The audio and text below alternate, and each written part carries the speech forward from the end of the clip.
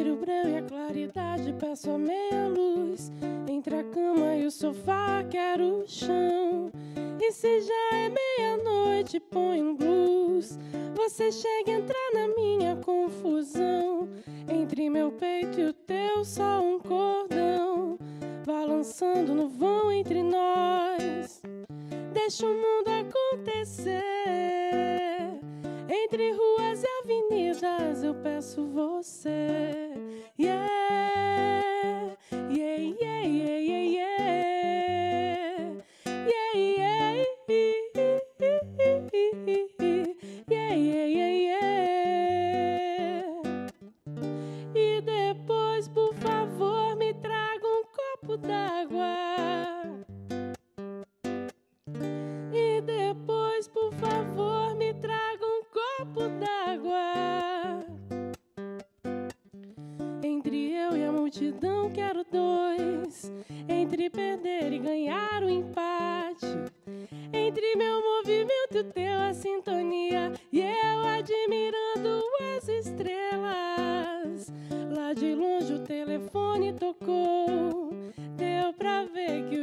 O jogo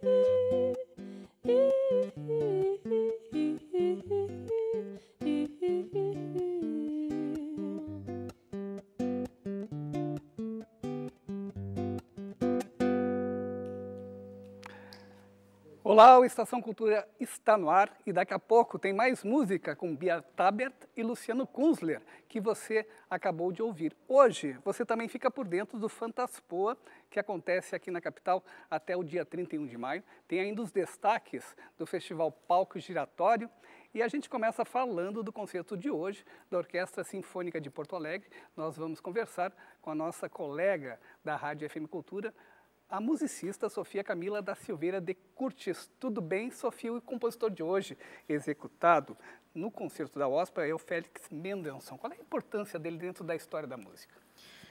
O Mendelssohn ele é um compositor que viveu toda a sua vida na metade do século XIX, na primeira metade do século XIX, o que significa que ele viveu muito pouco. Ele nasceu em 1809, morreu em 1847, completamente exausto por uma vida de muito trabalho. É verdade. é triste, mas é verdade.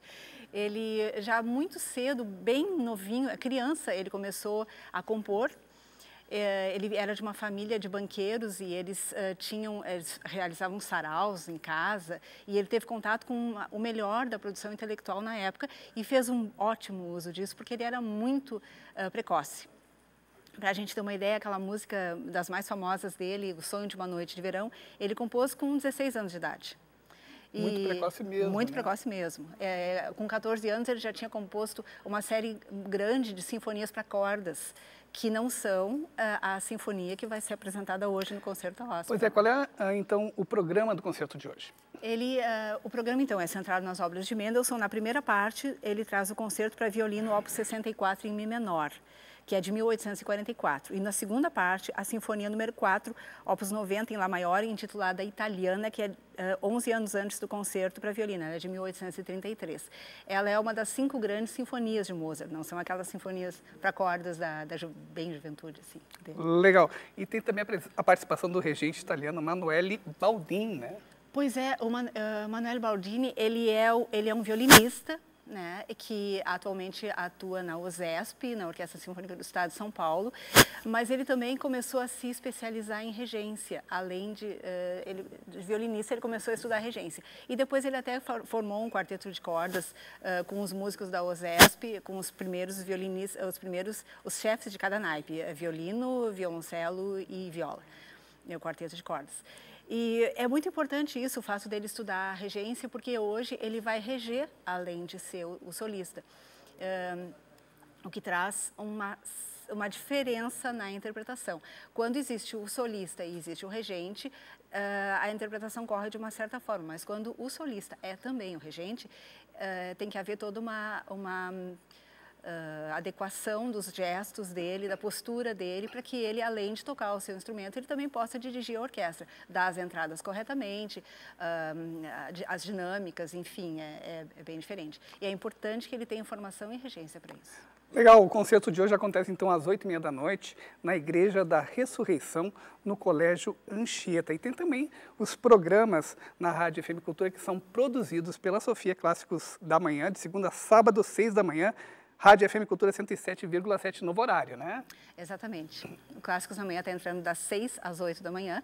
A Ópera da Semana continua no domingo, às 10 da noite. Legal, muito obrigado pela tua participação. Obrigada, Hilton. Aqui no Estação Cultura, e o Circo Girassol está completando 15 anos de hoje até sábado. O grupo estreia três espetáculos inéditos no Festival Palco Giratório e a repórter Patrícia Salvadori conversou com Dilmar Messias, dramaturgo e fundador do Circo Girassol. Bom, Dilmar Messias, como é que o Circo Girassol está chegando aos 15? Olha, uh, nós completamos este ano, este mês, uh, 15 anos de atividades ininterruptas com uma produção bastante uh, grande. Nós fizemos uh, mais de 10 espetáculos, e mantemos também uma escola lá na, no bairro Bom Jesus. Uh, nós estamos felizes por ter conseguido esta façanha uh, com o grupo. Uh, na verdade, o grupo Girassol é dos anos 70. Ele se transformou depois em Circo Girassol no ano 2000. Uh, então é isso, a nossa estamos bastante felizes por, por esta conquista. Vocês têm três espetáculos no palco giratório. O que, que são esses espetáculos? Estamos comemorando com esses três espetáculos. Uh, o primeiro é, é o, um nome enorme que termina com a Subiária Chuparcana, que é o palhaço no meio da praça subindo e chupando cana. É um trabalho que vem sendo desenvolvido no nosso uh, clube de palhaços, um centro de pesquisa uh, da linguagem do palhaço no Circo Girassol. E a direção é do Tuta Camargo e a música é do Rafael Moura, que ele com o Tuta fazem os, os palhaços.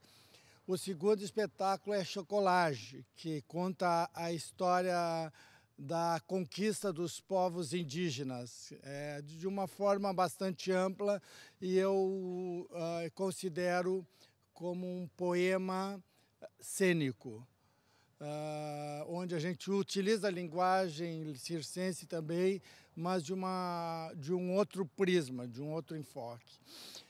E o outro espetáculo é Brinco de Princesa, com a Débora Rodrigues, um trabalho solo da Débora, onde é, ela, são reflexões e reminiscências de uma mulher.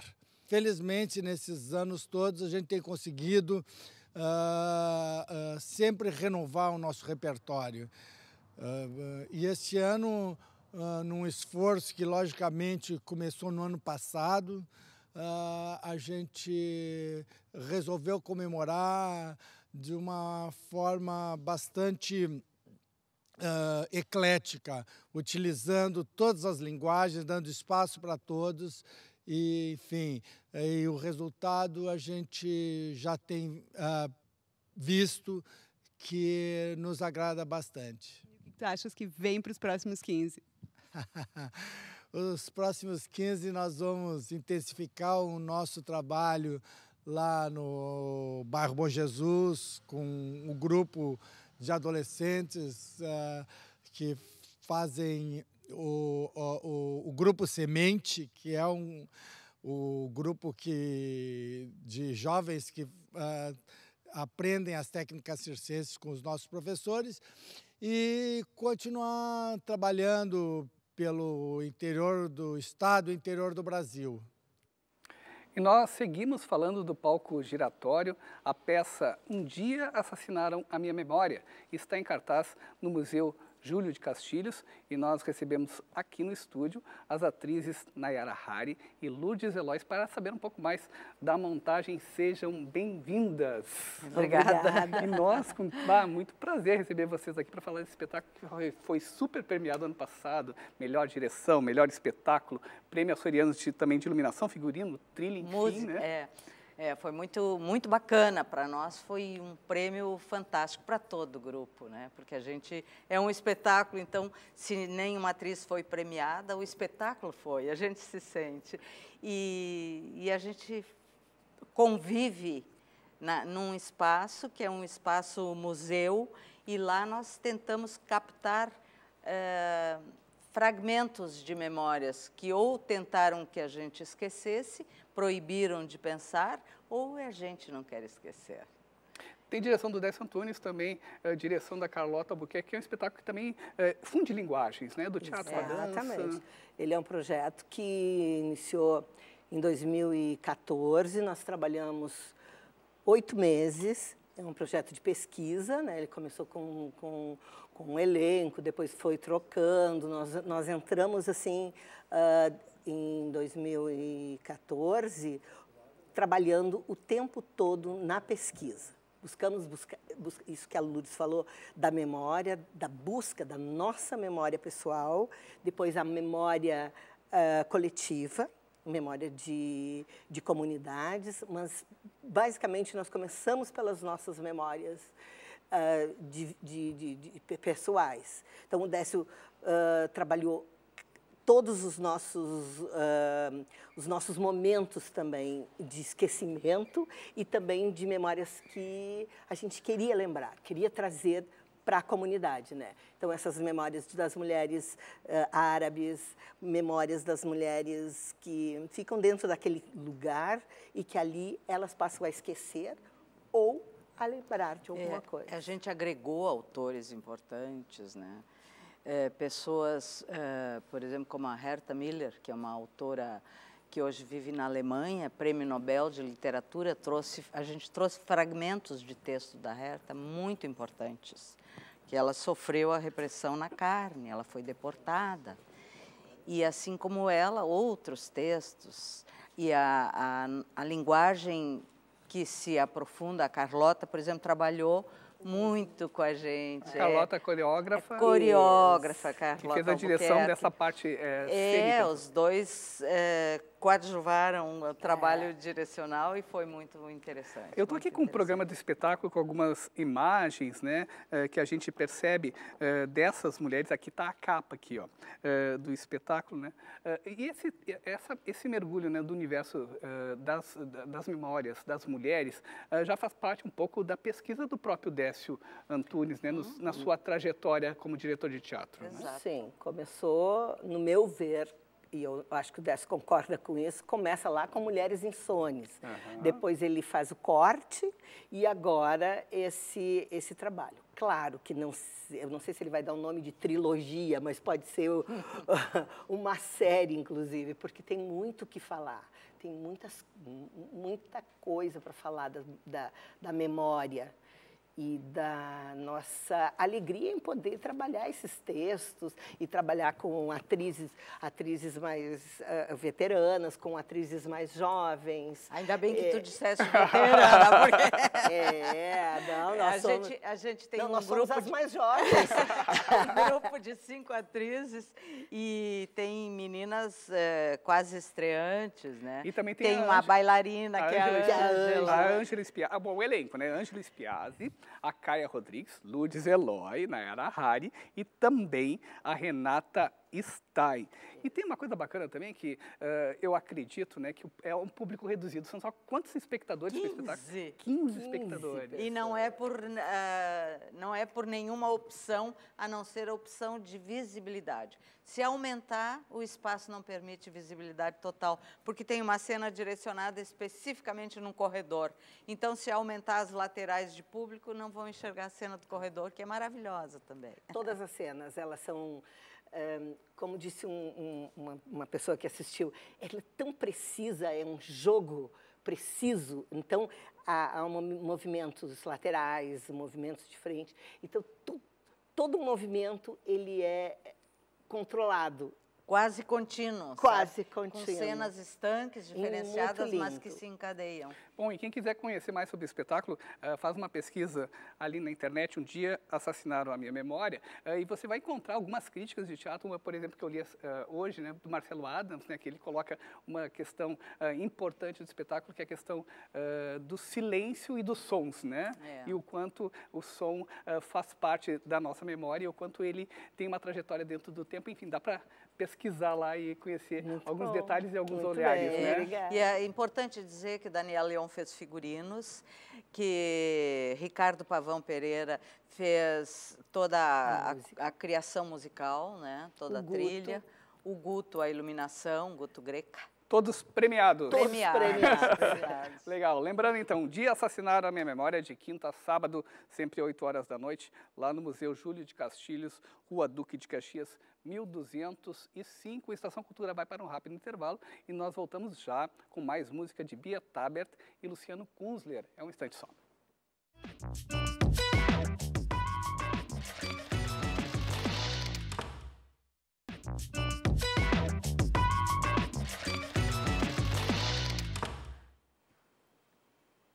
E a 11 edição do Fantaspoa já começou. Ao todo, serão 120 sessões de cinema fantástico em diferentes espaços de Porto Alegre.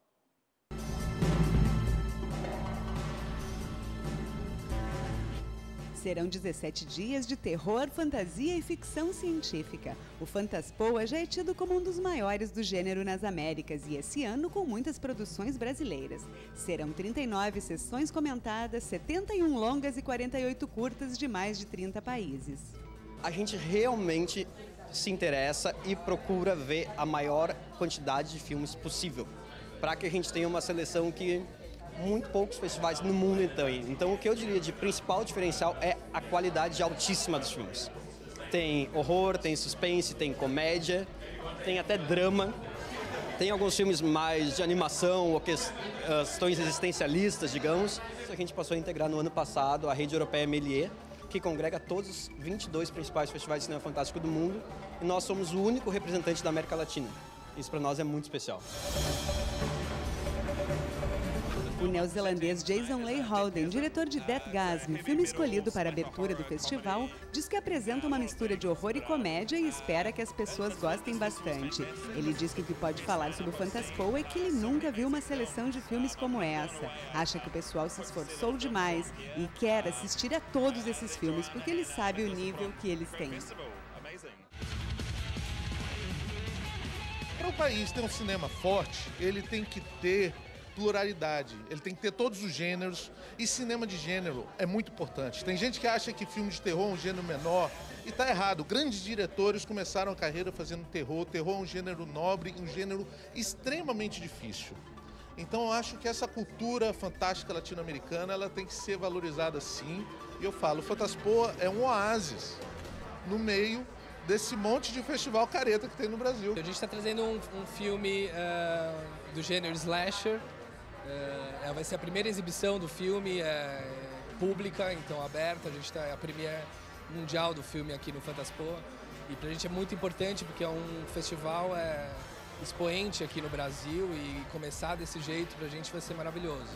Basta um brasileiro acertar. Então, assim, a produção está crescendo, mas existe um pouco de preconceito quanto ao gênero feito de terror nacional. Mas quando alguém achar a, a fórmula que as pessoas daqui querem assistir como um filme nosso, daí vão vir vários outros. Então, assim, é, a tendência é que o festival fique maior e que o nosso gênero terror alcance não só esses tipos de festivais, mas os festivais principais do Brasil também. isso veio aumentando muito nos últimos 11 anos, de tanto que em 2015 a gente tem a, pela primeira vez a competição nacional de longas-metragens. Entre o ano de 2014 e 2015 foram produzidos um total de uns 12 longas-metragens de gênero no Brasil. E a gente está trazendo para cá em primeira mão um total de 7. O público do Fantaspoa cresce com uma participação fiel e também com gente nova chegando. Meu interesse é mais os filmes cult mesmo, mais B, né, que não são mainstreams. Uh, uma amiga minha me convidou, eu me interesso muito por cinema, daí eu tô aqui para conferir. Eu adoro, sou fanática, é uma coisa meio infantil até, terror, né, pipoca, esconder, apagar a luz, tudo. Para mim é divertido, diversão pura. Claro, os trash, mais trash são, são meus favoritos.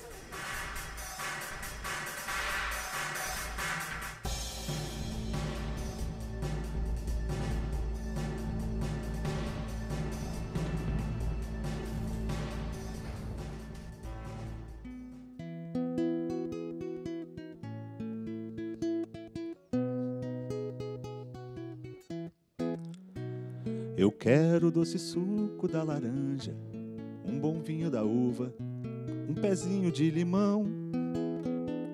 Eu quero lá no morro uma cabana, onde eu possa da janela admirar a plantação. Quero um porquinho, umas galinha, dois cavalos, uma vaquinha e o seu terneiro mamão. E quero toda noite para o céu olhar e ver numa constelação que tudo no universo tem o seu lugar e nada fica sem ter direção. Eu quero o azedinho da pitanga, o cremoso do abacate, a cor viva do melão. Eu quero o café lá na varanda, vendo o sol sair da cama, acabar com a escuridão. Depois dar uma volta de canoa pelas águas da lagoa ir pescar no ribeirão.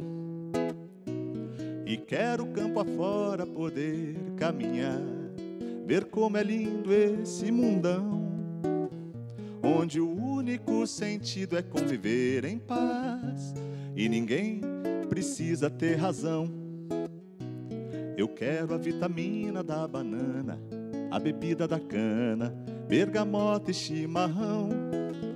Quero colher legumes e hortaliças, fazer pão, queijo e linguiça, tudo com as próprias mãos. Depois ouvir o vento na figueira, ao redor de uma fogueira, tocando meu violão. E quero que vocês venham me visitar, mas que não se preocupem, não. Pois tudo que vocês vão precisar trazer é só muito amor no coração. Eu quero doce suco da laranja, um bom vinho da uva, o meu pezinho de limão. Quero ouvir a sinfonia viva desta natureza linda, entoando esta canção, dizendo ao chegar do fim do dia, para se ter tal alegria, basta crer em ilusão.